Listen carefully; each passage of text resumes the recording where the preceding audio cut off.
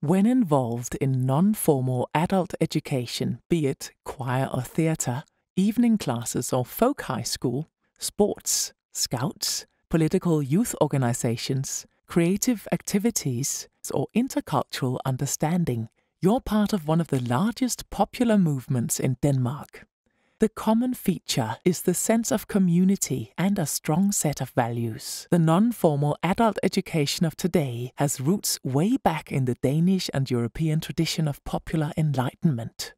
In the 1800s, school was strictly academic with rote learning under the discipline of the church. In opposition to this, Nikolai Frederick Severin Grundtvig formed his ideas on the spoken, living word as the most significant method of free popular enlightenment. Grundtvig's strong no to academic rote learning and his educational ideas formed a basis for a completely innovative type of school, the folk high school. The first folk high school in Denmark was founded in Rødding in 1844 and was after the Danish defeat to Germany in 1864 moved to Askov as a folk high school. The subjects taught were general and emphasizing national identity. Danish, the language of the peasants, is used in the classroom, and the school also provides practical and useful agricultural classes. The groundbreaking innovation is the way they teach. It is learning through dialogue and interaction without fear between the teacher and students. In the folk high school tradition, community singing plays an important part. They sing in the morning and in the evening. They sing about life, the country, and the Enlightenment itself. The folk high school becomes a context of democratic and national education in which the young students are being prepared for participating in the new democracy instituted by the Constitution of 1849 that remodeled the country from an absolute monarchy to a democracy.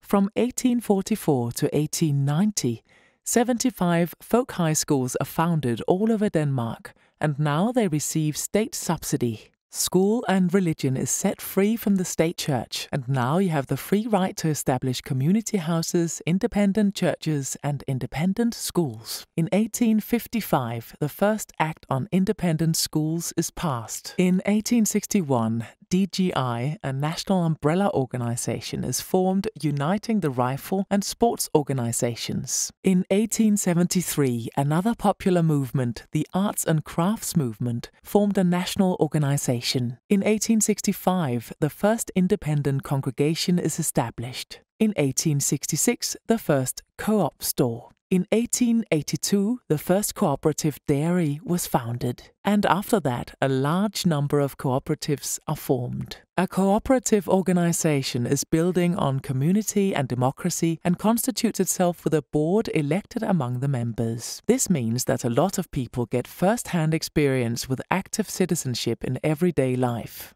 In 1871, the Danish Women's Organization is formed. The women fight for equal rights in family and society and for the right to vote. This they succeed with in 1915 after a long and hard struggle. The political parties are formed around and after the Constitution of 1849, and the first political party establishing an adult education association is the Social Democratic Party. In 1924, AOF, Workers' Educational Association, WEA, is formed. They aim to further enlightenment of the working class in DK. WEA is a project of ideological nature, just as the folk high schools were in the 1800s, and also within the workers' movement, we find a strong song tradition.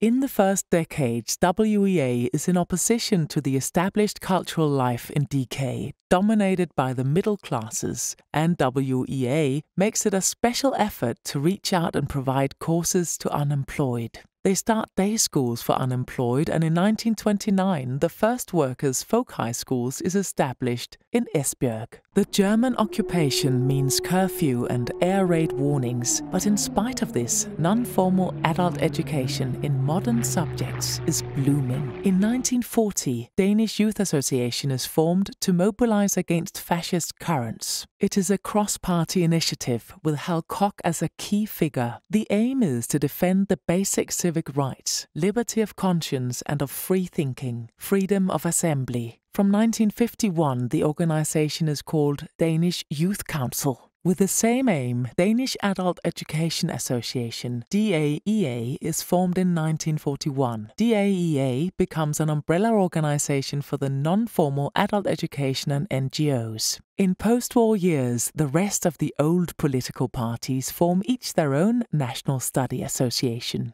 In 1945, the Liberal Party forms LOF, the Liberal Adult Education Association. In 1947, the Conservative Party forms FOF. In 1952, the Danish Social Liberal Party forms FO. Together with arts and crafts, they currently form FORA. As an exception, without ties to a political party, DOF is formed in 1973. It is independent and has many small and specialized schools as members. In the same year, we get what is called the world's best act of non-formal adult education. Subsidies to the study associations became higher and higher up to 19 1971. After that, it has just gone downhill. The contents of courses provided by the study associations and the folk high schools changed over time. The general courses were replaced with more recreational topics and gym classes. Besides from the various types of schools, a wide range of NGOs with very diverse purposes and types of activities are a part of the family. They are all working on a good course, sustainable way of living or ecological education, international understanding and human rights based development work, e.g., Danish Border Association, ActionAid Denmark, Women and Development, or amateur performers, e.g., like choirs, orchestras, and theatres